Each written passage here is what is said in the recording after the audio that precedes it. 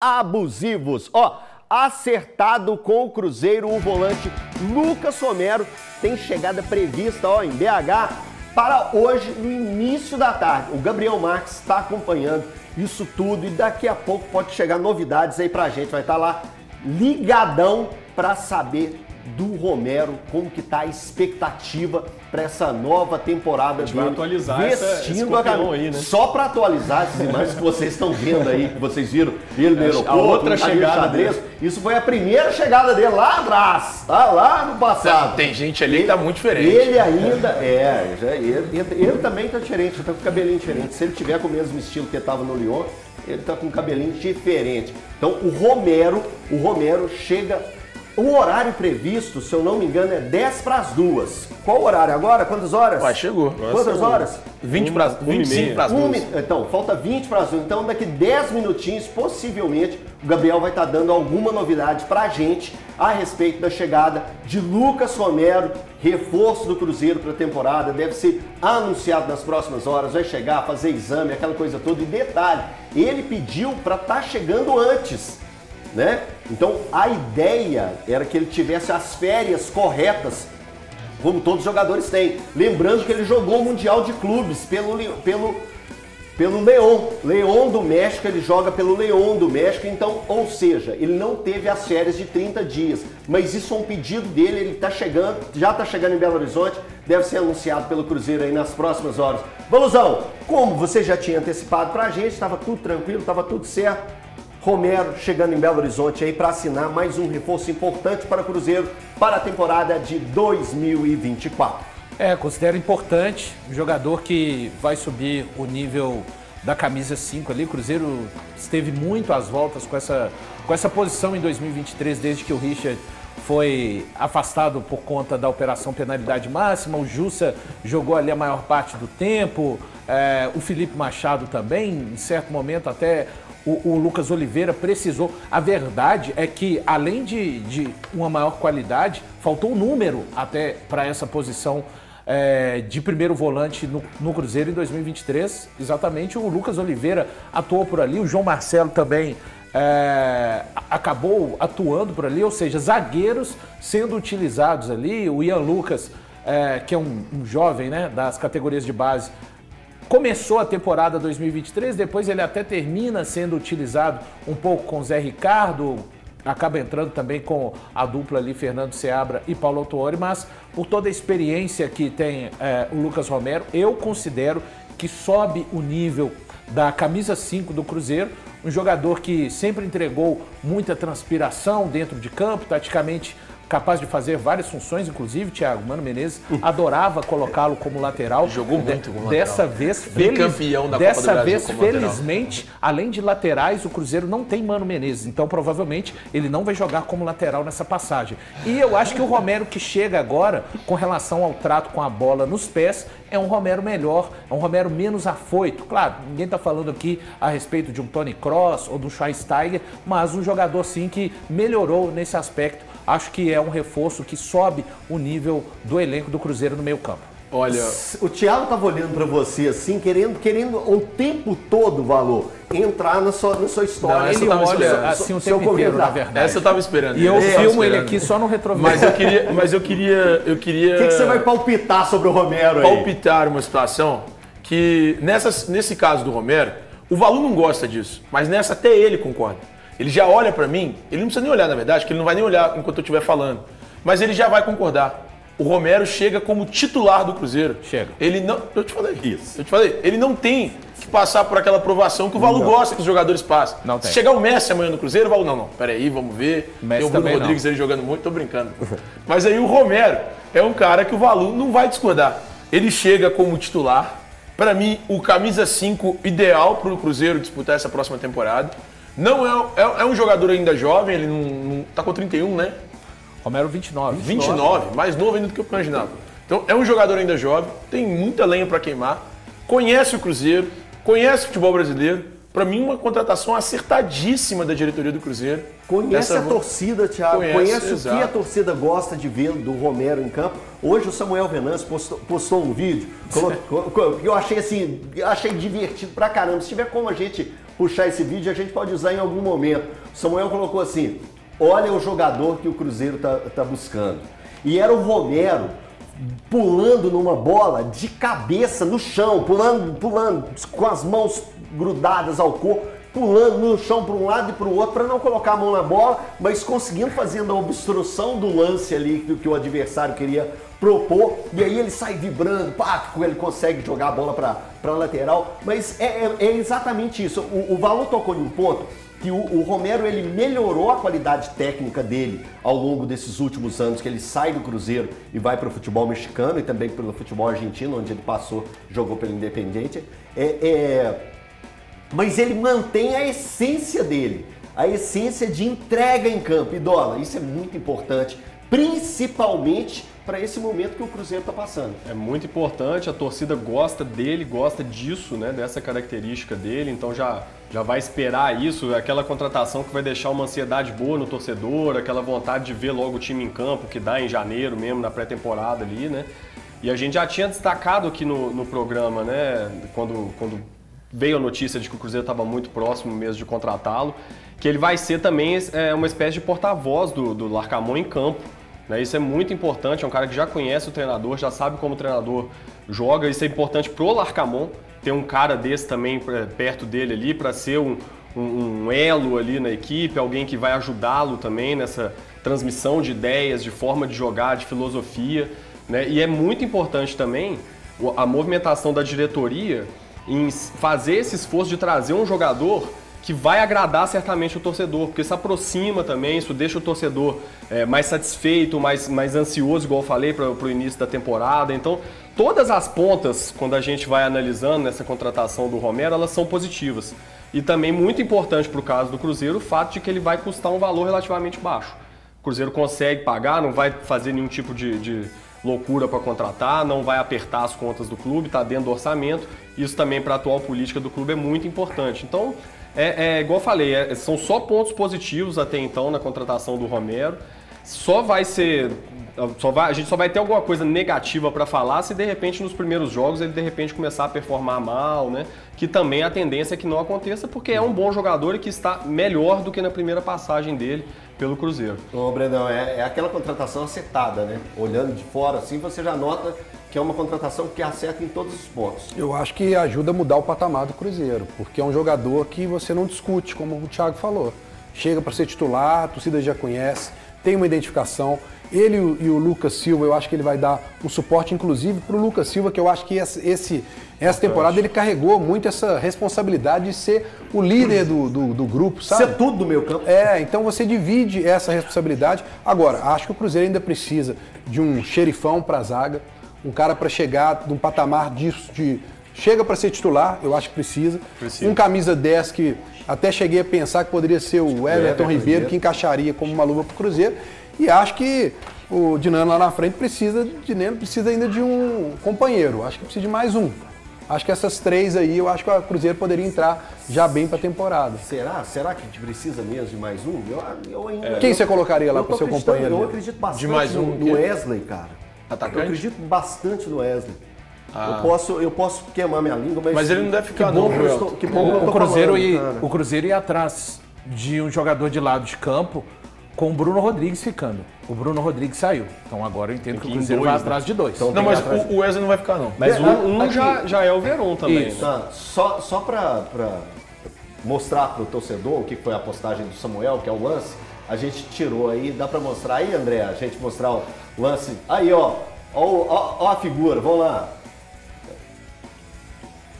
Ele tá usando. Cadê? Deve, deve Faz esperar o Renato, né? já, já passou ali, já comemorou. Olha lá, é agora, gente. Olha, olha só, cabeça, corpo, rola, cabeça Nossa. de novo, tirou a bola. Pronto. Pronto. Maluco. Pronto. É isso aí. É, eu, Pedir entrega, esse aí não precisa. Jogo, aquela, jogo grande, aquela, né? Aquele jogo assim de pegar e é entrega, gente, é para entregar, não deixa tudo em campo. O cara que dá um rolamento desse no chão de cabeça, não precisa mais. O, jo o, jogo contra o Tigres, né? Uma, uma que é o carrinho de cabeça é um clássico ali no, um isso, clássico isso, ali no México. Gente, isso aí dá ponto dá ponto em, em saltos ornamentais. Ele deu um carrinho de deu de cabeça um. com rolamento ainda foi de e novo. ainda conseguiu tirar a bola. Isso aí era nota 9.9 no, no, no, no, naqueles saltos lá do- nas Olimpíadas. É um movimento que ele fez aí que é digno de ganhar nome. Tinha que ganhar esse, esse movimento aí, é Romero. Ah, que exagero, Elton Lucas. Romero. Que movimento exagero, Lucas Romero. Ô, ô, ô, ô, ô, Andrezão, que notícia é essa aí do HG? Eu posso passar agora? Pode? Ah, então vamos lá. O HG trouxe uma informação que o Cruzeiro ainda está negociando com o América pelo Martins. Ô, Valu, seria uma boa, tem espaço no Cruzeiro, acrescenta ainda mais o Martins, que foi muito importante para o América, mesmo, gente, o América rebaixado, mas o Martins sempre se destacava nesse meio campo do América. E aí, Valuzão, será que pode rolar alguma coisa? Então, o, o tom das conversas mudaram, né? É, antes até na fala do próprio Salum, a- as propostas feitas pelo Cruzeiro eram propostas né, tanto irrisórias de acordo com o que o América pretendia para o jogador. Na- nos últimos dias, nas últimas horas, isso tem mudado. O Cruzeiro tem tentado entender e chegar mais próximo do que o, o América pretende com relação a esse jogador, que na minha opinião, ok, o Mastriani, por ser um jogador de frente, acabou se, destacando bastante. Muito se fala do Benítez, mas é, se eu pudesse escolher um jogador para fazer parte do elenco do Cruzeiro em 2024 do América, seria exatamente esse jogador que o Cruzeiro está tentando. Sabe quem seria o meu? Juninho. Talvez pela idade não A questão do Juninho, a, a mais idade é a é o identificação, melhor. né? O Juninho e o América praticamente se, se tornaram uma coisa só, assim. E o Martinez juntamente com o Juninho, porque assim, a defesa do América não funcionava, mas o meio-campo e ataque funcionava. E ele foi um grande escudeiro do Juninho.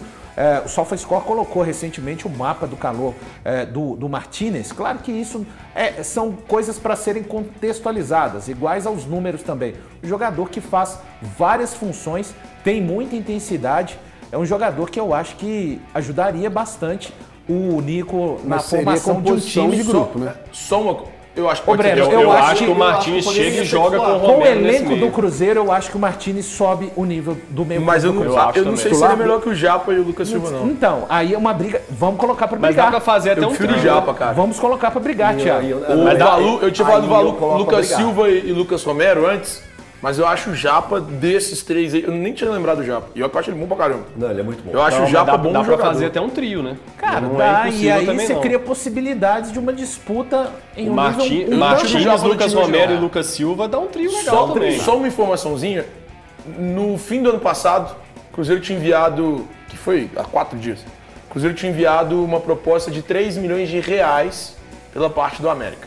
Quanto que o América tem dele? O América tem 50%, pagou 1 milhão e 200 mil dólares. Dava mais ou Deu menos, na época, o milhões. América pagou uns 5 Seis- milhões, seis milhões, né? seis- quase 6 milhões de reais. Então tá bem abaixo do que o Então- Cruzeiro tá oferecendo.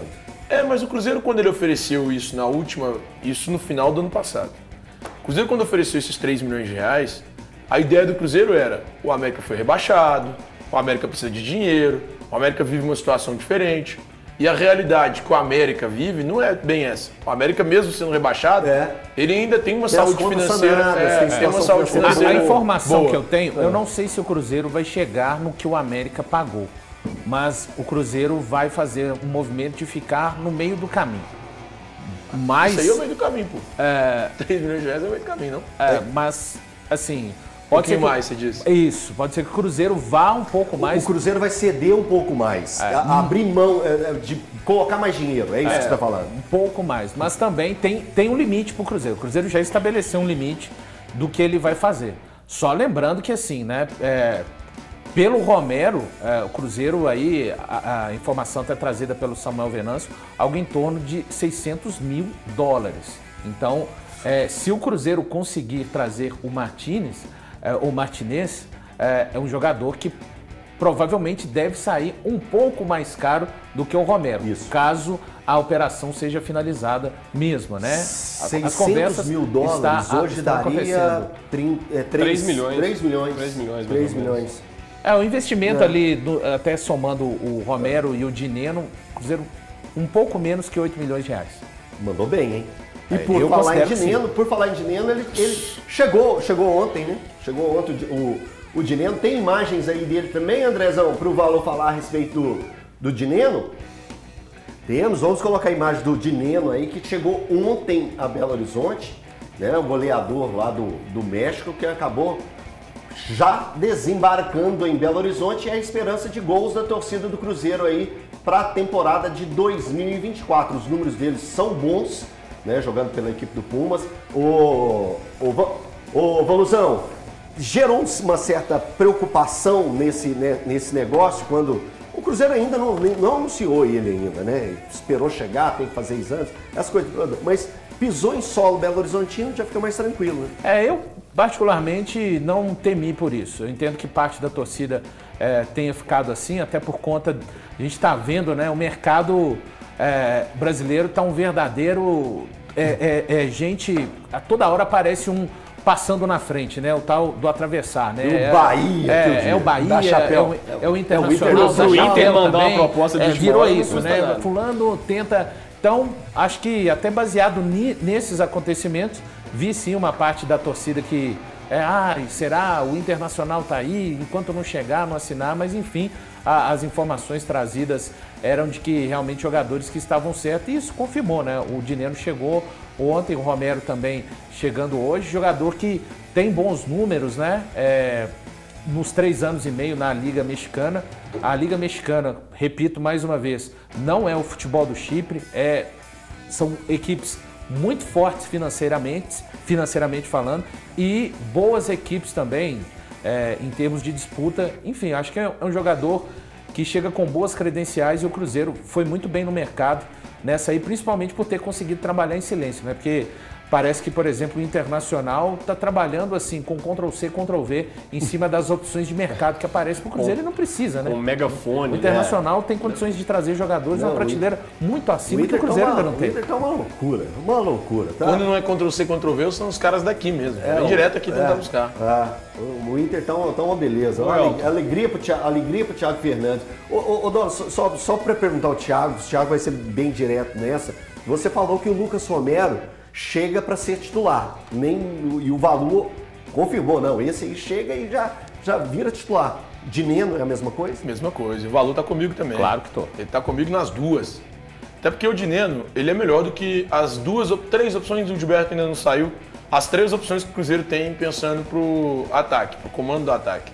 O Cruzeiro tem hoje o Rafa Silva, o Gilberto, o Rafael Papagaio e o Dineno. Das quatro opções, o Dineno é muito acima de todas elas. Se você nem quiser comparar, desculpa, Tiago, te interromper rapidinho. Não, não, já acabei também. Tecnicamente, é, quem que foi, quem que terminou como 9? Foi um falso 9, é, Bruno Rodrigues. Bruno Rodrigues. Rodrigues. Com o, um centroavante de ofício papagaio nem sendo relacionado. E, então. e além da, da falta de concorrência que tem hoje no, no elenco, a gente pode dizer também, no caso da contratação do Dineno, que é um cara que tem o aval do técnico que está chegando. Sim.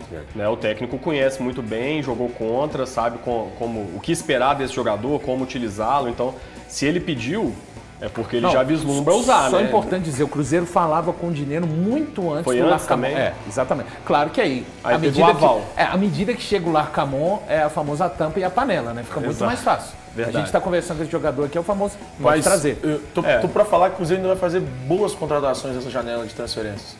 É que assim. É... Agora para janeiro, fevereiro? Mas pelo, pelo janeiro, que representou até financeiramente, não sei, o meu chute é de que o, o Dineno tenha sido contratado para pelo menos ser testado por um tempo como titular. Não sei se o Cruzeiro ainda traz um outro camisa nova, a não ser que o mercado ofereça alguma coisa ainda espetacular, querem, né? Ainda querem. Mesmo com a chegada do Dineno, o Cruzeiro tinha interesse na contratação do Alário. Mas Mesmo é porque o Alário também tá no Cruzeiro fez uma consulta boa. É, desejo do então, assim, Cruzeiro, assim, desejo às vezes é ter um grande camisa é, é ter quatro opções para camisa Exatamente. nova. Desejo.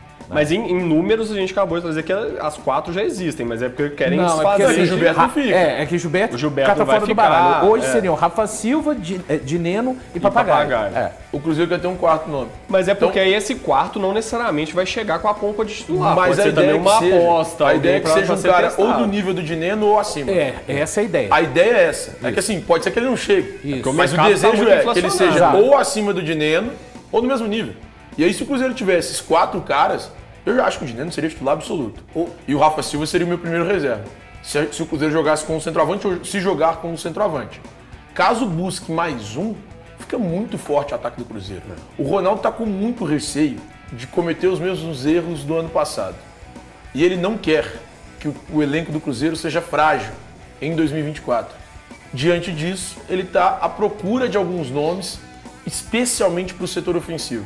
Cruzeiro ainda vai buscar mais um zagueiro, Cruzeiro vai buscar, quer mais um volante, mas agora quer especialmente dois jogadores para o ataque, um ponta, um centroavante. O, o, o Breno, o, o, Cruzeiro, o Cruzeiro deu um pulo é, é, certeiro, né, podemos dizer assim. Quando você tem um técnico que trabalhava no futebol mexicano e já busca duas peças que estava lado a lado dele, mesmo um sendo rival, mas isso já é uma, um facilitador para o processo desse novo treinador, correto? De adaptação, ainda mais um jogador que não conhece o futebol brasileiro, como o centroavante. Agora, agora essa questão principal do centroavante também é uma peça que está escassa no mercado. Sim. É difícil você conseguir um valor acessível aquele cara que chega para poder resolver a situação da nove. Eu, eu já falei aqui da outra vez que acho que o Cruzeiro vai sentir muito a ausência do Bruno Rodrigues. Para mim, era um jogador de referência ali. Né? Mas não deixa de ser uma aposta e uma boa aposta por tudo isso que foi considerado aqui. Agora, eu ainda tenho minhas ressalvas quando vocês falam do papagaio toda hora. Eu não sei se o papagaio é esse jogador que dá para você contar com ele para, por exemplo, disputar uma posição. Sendo bem sincero com vocês, não fez nada no Atlético e até agora no Cruzeiro também não me chamou é que nós estamos falando em quarta folha, quarta é, Só estou falando de jogador também que tem contrato. Contrato é. papagaio, ele segue. Eu não, não sei que... como é que vai ser a avaliação do, do Nico quando chegar. Hoje, ele está lá como opção. Pode ser que isso aí vire é, à medida que a temporada continue encaminhando. É que ele seria o quarto nome do elenco. É claro, tem aquele problema, né? Ah, o cara ruim sempre vai jogar uma também. uma hora ele vai ter é, que ser Mas ele seria o quarto nome do elenco. Se o Cruzeiro jogar com um centroavante, acho que ele teria cada vez menos minutos nesse time. Só, só assim, é um sentimento, não é informação, tá? É, diante dessa situação do mercado que o Breno acabou de trazer, a escassez, quem tem pede muito caro. Eu acho que caso o Cruzeiro realmente consiga buscar essa opção, mais uma opção para a camisa 9, o Cruzeiro pode continuar ali com a sua lupa de procura no mercado sul-americano, especialmente no futebol argentino. É. Deixa eu dar mais um